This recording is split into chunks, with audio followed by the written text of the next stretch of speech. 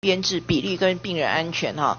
根据美国心脏协会的研究，他们研究了一万七千九百多个心跳突然停止的个案，那是呃这个在美国两百五十家医院哈做了一个普遍的调查。他说哈，这种心跳突然停止的个案哈啊常常日夜都会发生，但是呢，医院住院的病患发生心跳突然停止，在夜班的存活率较低，原因只有一个。就是夜班的人力配置比较低，所以刚刚理事长讲的，如果说我们夜班也可以维持一个比较好的医病比的话，那事实上死亡率是可以下降的。好，以上跟大家这个呃，保，那我会把这一份呃资料哈放在我们的那个呃公报哈的那个记录里面。好，来，下面我们请罗淑蕾委员发言。哦，对不起，我刚忘了宣布哈，我罗伟很抱歉，我们便当已经买好了，所以请工作人员发给大家。那我们罗淑蕾委呃罗淑蕾委员发言完了哈，就是呃蔡其昌委员跟李应元委员发言后，我们休息半个钟头，好吃便当，谢谢。好，主席、各位同仁、各位官员、各位媒体朋友，大家早。主席，我们是请那个邱我们我们那个邱署长，还有劳委会，今天劳委会是谁来？来，劳委会王王主委，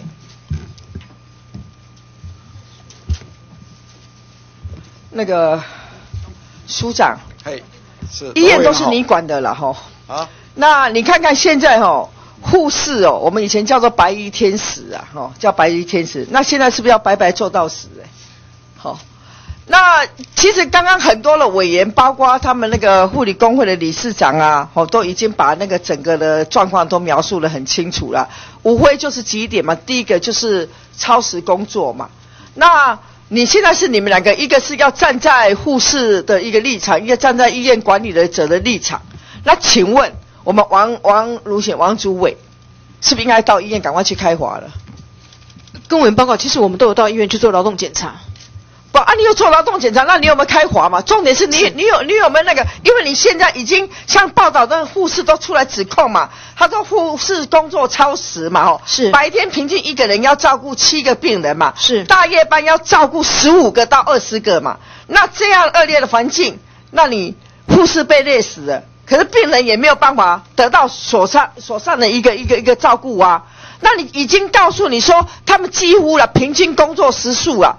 都是在十几个小时以上啊，那这样已经违反了劳基法了嘛？违违反违反了我们所有的相关的法令的话。那怎么？那你有没有去开罚嘛？有跟委员报告，其实每一件我们劳动检查出来的结果，只要违反劳动基准法相关的规定，那你现在目前你你告诉我，你开罚了几件？我们都会要求地方主管机关要开罚，因为开罚权限在地方主管机关。那我们现在目前检查从九七九八九九一百，每一年我们都检查，那检查出来的违反的比例啊，大概原则上是三十 percent 的家数会有违反的，比如说检查一百家有三十家是违法的。哦，那一百家你看一照讲医院呢？医院是一个在整个来讲，在整个我们一些企业界哈，我们就包括来讲话，它是应该是管理，好管理应该是最最比较比较那个那个严谨，还有包括它应该要对国家的法律应该要遵守的比较比较严谨的一个单位啊。那都有三十趴的违法的话，那其他的一些一些那些私人诊所啊，还有包括包括包括一些一些比较中小型的医院呢，对不对？是。那那那你你你假如已经这么高的比例的话。那那我好，你说违反三十趴，那开罚罚款是怎么罚法？是跟委报告，我们呃违反的比例最高的是延长工作时间，没有依照规定给他加班的工资。然后第二个部分是他没有逐日记载他的劳工出勤情形。第三个部分是做七休一的这个部分呢，没有给他作为例假。那违反的比例啊，大概都在十五 percent、十二 percent 跟十一 percent 的这样的情况之下。那目前相信相关法令规定，我们已经修改劳动基准法，所以提高了整个罚款的额度，所以是变成两呃两万到三十万的罚款额度。然后另外一个部分是还可以公布违反违反的这个呃厂商的姓名。不，那假如那你们开罚以后，你们有没有通报卫生署？跟跟委员报告，其实从杨署长开始，我每一次劳动检查出来的结果啊，我都会把结果告诉呃卫生署。那甚至于呃厂商的名称的部分，我都会给卫生署。好，那啊卫生署怎么处理呢？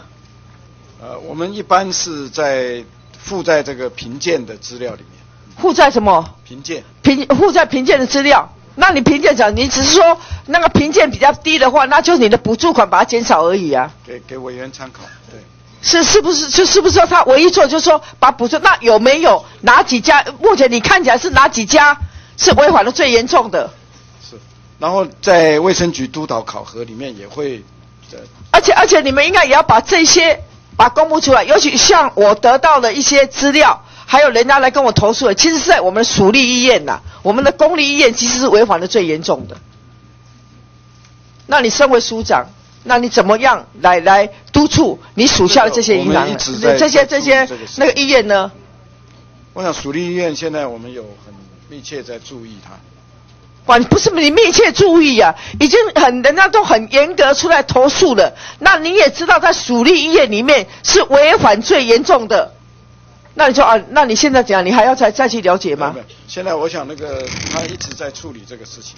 跟委员报告，属立还是公立医院，我们还是要按照我们的规定来做。到目前为止，我们还是一直在监控我们自己属内医院有没有这种情况。不，你你现在看看哦。我们像国内哦，一般病理人员照顾病人，病人的病病人的一些一些，你看看，我们我们，你看看你你跟你跟一些国外国外来比啦，好，跟国外来比，我们确实，你看看台湾，台那你美澳的话，差不多是白班是四到五个人，日本七个，日本现在现在推，日本现在从两千零六年十一月开始，他们就推一比七的护病比例，那么台湾目前，好，台湾台湾目目台湾目前的话。那是很明显的是偏高，好偏偏偏高。台湾是五到十三，你夜班的话是六个到十八个，那你大夜班是七个到二十个，都比人家一些国外高这么多。那那你根据根据这些数据里面，我们知道国内护士在一般病房照顾的那个人数这么多，那反而你不是那个一护士累到死，那病人也没有得到所善的一个照顾。所以他们有讲说，假如你病护士没有照顾好的话，那那个死亡率也会提高。好，这他就那个护理人士跟我们病人死亡风险的一个相关性。假如说你每多增加一个病人的话，那他死亡率是增加几趴呢？增加七趴。那那那你你你想想看，那你只要照顾六个病人的话，那大于十四趴；那照顾八个病人的话，大于三十一趴。那对病人也是，也也对病人也是很不公平的啊。所以不是只有护士累到死，对病人也很不公平啊。那我们如何来处理？其实你们都了解问题的所在，了解问题的那个。那当然，这个根据在从根本来讲说，我们护士的考试，它的录取率也很低，那薪水也很低，工作环境又不好。那这样的话，你你你怎怎怎么去处理？你总有一套你的改善的方式嘛？哦，你你你这样的话，你永远大家啊，你今天的今天我们这一个那个我们这个委员会开会开完以后。那有有什么结果？你要有个具体的办法，你要怎么作为，怎么做出来才是最重要的嘛？是是，我我想刚刚特别提到说，呃，护病比我们在白班已经到了一点一比七点二，但是夜班跟小夜，但是因为现在所有人都在减少，那我们在整个处理方式哈，那么当然我们有七个策略了，七个策略当然是从人力给付啦、辅助啦、留任啦、职业环境啦，或者任用资格，还有。低考照率，刚才提到的低考照及格率这些七个方向来做。那因为这个人力的资源，它有很多配套，比如说你啊，事实上刚才提到的，我们很多事情呢，实际上去年我们提到的一些，我们都已经做了。那不要我，我现在最具体的，最具体就是说，它主要最我们都知道原因嘛，主要是第一个就是说，它因为它薪资嘛，跟他的工作量不成比例嘛。是。所以第一个，你有没有想到说，对，就针对我们这是属立医院。如何先给他调薪嘛？所以你有没有考虑到说，你是不是有没有打算要给他调薪？是属立医院的情况，我大概特别讲，因为从九二年一直每年十 percent 的减哦，所以起码一个减个加厉害啊！万一好不容易在上一次会期我们把它停掉了，那停掉也要到一零二年，但是我们这一段期间我们会努力来做。不是，啊，你现在告诉，因为我们都知道原因嘛。刚刚刚刚那个他们护士工会的理事长都谈了嘛，就是因为他的薪资。跟他的工作量不成比例，这是最大的原因嘛？你要有很高的诱因嘛？让我给我做我做个做个戏做个做个戏，但是我有得到代价啊。那你现在拿到了薪资，像平均薪资差多少钱？好来，处理一下。现在他们他们这些护士的平均薪资差多少钱？现在好像其好像都是三三，都差多少钱？平均薪资？现在月用的刚进来的话，他的底薪是三万四，如果加上奖励金，好的话医院大概四万，差的话大概三万五六，就三万三万多块嘛。那他要工作时数几乎都是十几个小时，就超时工作。事实上，很多属于都没有付加班费给人家。我的了解几乎都没有付，都是强迫人家做。那所以你有没有考虑到说，是不是先给他们调薪呢？有没有做这个打算呢，署长？好，我想我我一定会努力来演绎。不是啊，你不要努力演绎嘛。现在目前所碰到这是个问题嘛。我们每次都演绎演绎，你就先解决嘛。你说我们了解他的研究说，薪资跟工作量不成比正比，所以才会造成护士大量出走嘛。那你护士大量出走的话，那当然他人手不足嘛。那人手不足，才影响到他的他的医疗医疗的品质嘛。就打给嘛在，那我们就知道他最重要原因在这里嘛。那再来的话，你考虑考虑他的录取率啊，或他的他的那个那个还是其你最重要说，你现在是人就大量，你原来有护士资格的人，包括现在在学校里面念护理系的人，他都不愿意来从事这个行业嘛。大家听嘛，加嘛加洗啊，要轮大夜班，都要那个半夜开始轮到大那那那个那个大清晨，而且大夜班的时候照顾的病人，好弄爱照顾十五个到二十几个啊啊啊，那那谁愿意呀？啊，所以在这样情况之下，所以才造成越来越严重嘛。那你根本解决的办法就是好，在你的人数还没有办法增加，还没有办法把这个大量的人力投入这个护理工作这个行业之前，你要先保住原来的嘛。那你要保住原来，你是不是要先把薪资薪资调高？那你有没有承诺？你现在有没有答应说，你现在向全国护理人员先是说好，我现在我就要打算我护我卫生署，我要极力。好，我要我现在要保保障他们的一个工作的一个工作权，他们工作跟他们的所得薪资要有一个相当的代价。那那你要提出说啊，我好，我明年的预算里面，我不要对每个护理护理人员。那当然，你你属立医院带动，你公立医院带动的话，相关的相关的相关的那个医医疗体系、医疗机构，他们也会跟进嘛。所以你这里你要说啊，我是不是要答应，我就把他们调薪调多少上来？那党委会也要去督促啊，工作跟这样的话不成比例，那难道你们两位不去协调？你你站在护士，护士也是劳工啊，也是也是你要保护的啊，当然当然，对不对？那你要督促他们说，要赶快把薪资结构不合理的要先加薪啊。是，对啊，啊，署长有没有这个打算？是，我刚就像刚才卢理事长所提到的，他我们这个饼还是太少了。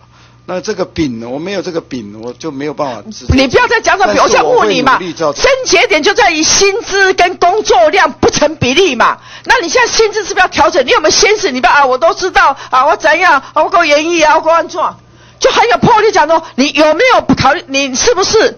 我说好，我现在今年的预算来不及啊。但是，但是我现在就要找到这个，这个，这个裁员呢。不裁员，我们对第二一杯薪也可以呀。裁员那个单单，对不对？你只要说真的是你有人家合理，你现在已经这么问题这么严重了，这个也是到牵牵涉到国人健康的问题耶。其实你这次美牛是让你逃掉了，本来那个那个农委会是管管牛、管猪、管鸡的，你是管人的健康哎，什么都没有你。那你现在人，你今天护士慌，护士有问题，造成。那个病人的人权也有问题啊，病人的医疗的品质都下降，那病人没有达达达到他病人的一个医疗的人权呢？那相对相对的也是这样，所以你是不是应该说说解决问题？第一个就是先加薪嘛，我的看法，因为我我会给我看我我看实在，我发现你是不是先有些我就先加薪，我就从我的公立医院里面起，就是说现在护士人员薪资太低，包括不是护士人员问题还很多，现在还有我们很多外科医生也大量出走。你喜欢基本上很多医生他们去做啥呢？去讲整形美容、小好谈呐。啊，伊来去开刀，他给你换个肾、换个换个换个心脏，可能要开你的担金啊。可他得到多少钱没有啊？而且还有医疗纠纷呐。所以这个也是我们目前我们目前医疗人员大量流失的主要原因呀。包括我们整个的健保给付的问题都出了问题耶。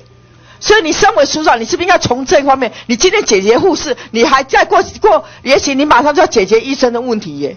对，这个就是我刚刚讲的气球理论嘛。你加个气了，伊就爆起来啊。所以咱起码规个大饼都是不高啊。啊，我也努力啊，朝这个方向。不，那那你是不是要先告诉这些护士，告诉在全国过程中，我现在打算，好，为了保障他们，那党委会也应该要去去查。对，那你把那个三十家，比如说好，你刚刚你们说查到三十八，一百家查到三十八不合格，你要把公告啊。你要你要，而且而且我们要来相对的，我要来对，你是不是给我你的资料？我再来看，我们再来对劳委会是不是对？劳委会提供检查不合格的资料，来我们来核对，跟卫生署来核对。